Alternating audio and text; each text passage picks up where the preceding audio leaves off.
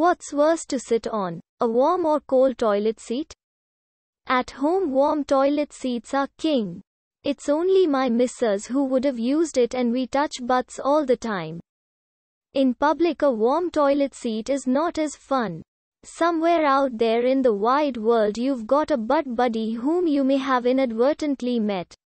Or will meet at some point but you may never know. Wet. Warm. A cold seat will eventually warm up. Warm. Depends on if I'm cold or hot. Warm. That's someone's ass heat, man.